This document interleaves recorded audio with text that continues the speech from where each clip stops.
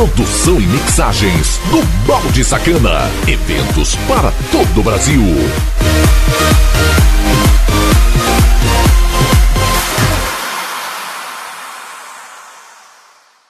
Virgem do dia 29 de março de 2017.